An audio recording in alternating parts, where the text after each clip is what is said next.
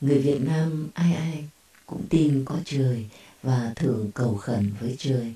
Điều này vốn có trong lòng người Việt từ bao nhiêu thế hệ trước. Lòng tin này được thể hiện qua lời nói và cách sống của chúng ta. Một điều mà không ai phủ nhận được là bất cứ việc gì xảy ra, dù tốt hay xấu, buồn hay vui, chúng ta đều kêu trời. Khi vấp ngã, ta kêu trời ơi, đau quá. Khi gặp bất hạnh, người ta kêu trời ơi, cứu con. Khi công danh thành đạt, ta nói nhờ ơn trời giúp. Chúng ta biết về ông trời, còn những người có đạo Chúa thì ông trời cũng chính là Đức Chúa Trời, Ngài là đấng tạo hóa. Thưa quý vị, Chúa cứu thế Giêsu, Ngài là con Đức Chúa Trời. Chúa Giêsu đã làm nhiều việc lạ lùng mà chỉ có ông trời mới làm được. Ngài có quyền trên sự sống của nhân loại. Ngài chữa lành mọi bệnh tật, khiến người mù được thấy, người điếc được nghe, người què đi được, thậm chí Ngài khiến kẻ chết sống lại. Thế mà ngày nay vẫn có nhiều người không tin điều đó. Họ không tin rằng Đức Chúa Trời có thể ở ngay bên chúng ta và sẵn sàng nghe khi chúng ta kêu cầu Ngài. Có một câu chuyện kể lại rằng có một người bán thuốc, người này không tin có Đức Chúa Trời, nhưng anh lại có rất nhiều người bạn tin Chúa. Những người bạn này hay đọc Kinh Thánh cho anh nghe. Anh này rất khó chịu. Anh không muốn nhớ, nhưng trong tâm trí anh lại nhớ từng lời, từng chữ. Anh còn nhớ trong sách Thi Thiên chương 50 câu 15 có phán Trong ngày gian truân hãy kêu cầu cùng ta, ta sẽ giải cứu ngươi và ngươi sẽ ngợi khen ta. Vì anh không tin nên anh nói thầm trong lòng rằng ở đó mà ngợi khen. Ngay lúc anh nói điều đó thì có một người cầm toa đến mua thuốc. Anh coi toa rồi, anh bán thuốc và nhận tiền.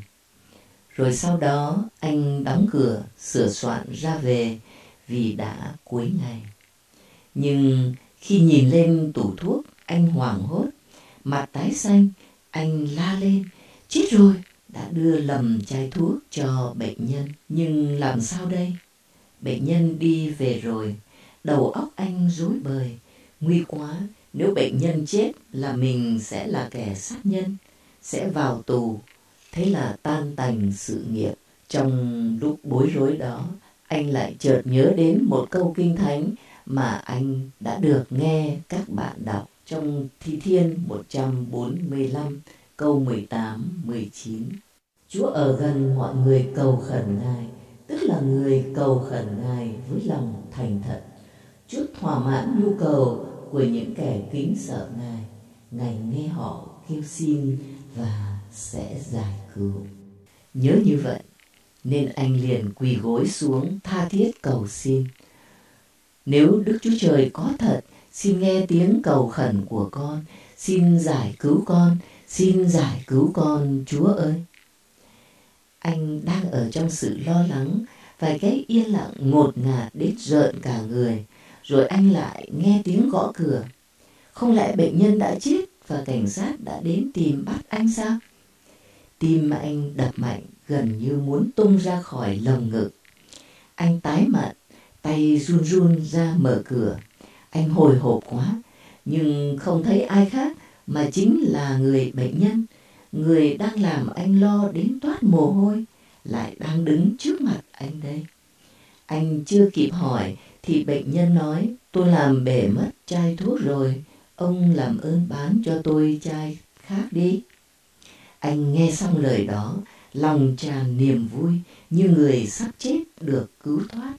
Anh tự nói trong lòng, Đức Chúa Trời có thật, Ngài đã giải cứu tôi, như lời Ngài phán. Tôi tin Ngài, anh lấy ngay chai thuốc khác và tặng cho bệnh nhân, còn bệnh nhân thì ngạc nhiên vì lòng tốt của người chủ tiệm. Riêng anh, anh cảm ơn Đức Chúa Trời vì Ngài có thật thưa quý vị. Lời Thánh Kinh trong sách Timothée thứ nhất chương 1 câu 15 đã khẳng định Đức Chúa Giêsu đã đến trong thế gian để cứu vớt kẻ có tội. Ấy là lời chắc chắn đáng đem lòng tin trọn vẹn mà nhận lấy. Thưa quý vị, Đức Chúa Trời đang chờ đợi quý vị quay về cùng Ngài. Vì chính Thượng Đế đã tạo dựng chúng ta để giao tiếp với Đức Chúa Trời. Nếu thiếu đi mối giao cảm đó, chúng ta sẽ mãi mãi khắc khoải, bất an. Thánh Augustine đã có lần cầu nguyện rằng Lạy Chúa, Chúa đã tạo dựng chúng con cho Chúa, cho nên linh hồn chúng con sẽ không bao giờ được an nghỉ cho đến khi nào chúng con được an nghỉ nơi chính Chúa. Chúa cứu thế Giêsu đã Giáng sinh hơn 2.000 năm trước để làm nhịp cầu đem chúng ta trở về với Đức Chúa Trời. Ngài đến đem bình an cho nhân loại. Có bình an với trời, ta mới có bình an với chính mình. Và có bình an với chính mình, ta mới sống hòa bình với người được. Đây là một quyết định quan trọng cho cõi đời đời. Xin hãy quay về với Đức Chúa Trời là đấng tạo dựng chúng ta qua con đường cứu rỗi mà Đức Chúa Trời đã thiết lập qua Đức Chúa Giêsu Christ. Đây không phải là lý thuyết suông, nhưng là kinh nghiệm của hàng tỷ người trên thế giới đã tin nhận Chúa Giêsu để tội được thanh tẩy và được nối kết với Đức Chúa Trời trong mối quan hệ cha, con và mối tình trời và người được nối kết.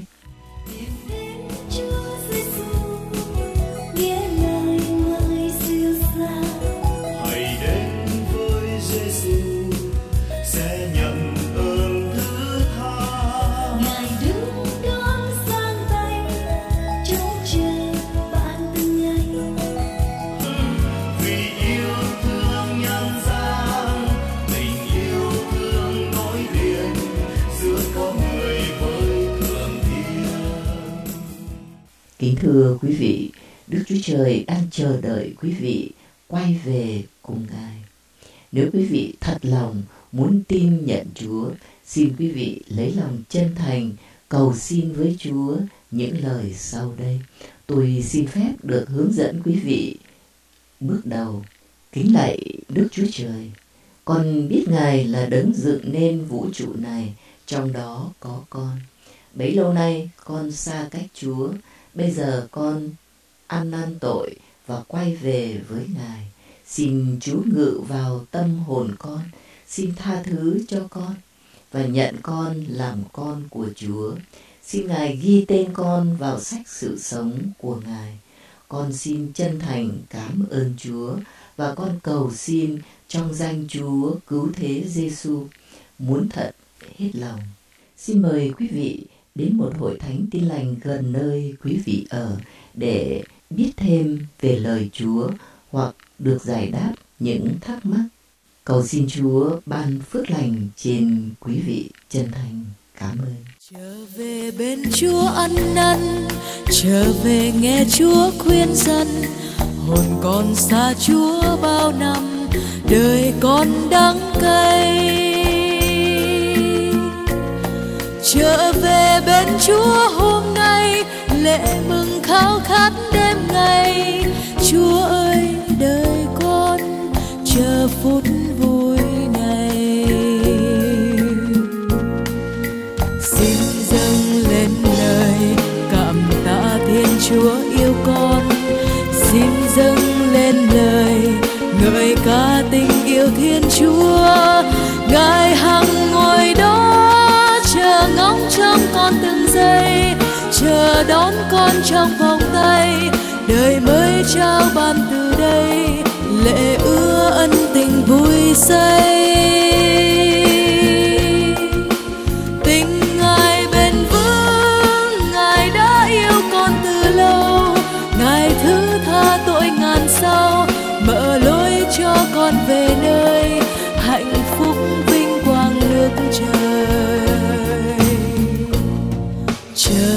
Bên Chúa an vui, nhạc mừng vang khắp thiên cung, gục đầu trong cánh tay cha.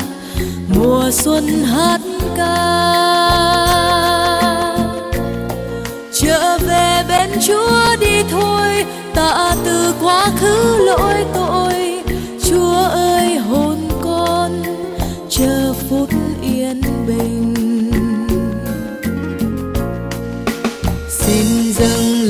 Lời cảm tạ thiên chúa yêu con, xin dâng lên lời ngợi ca tình yêu thiên chúa.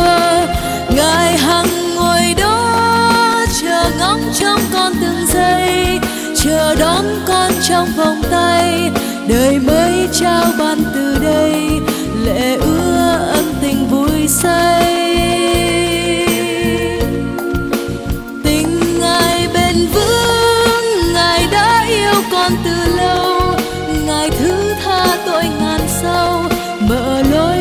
Con về nơi hạnh phúc vinh quang nước trời.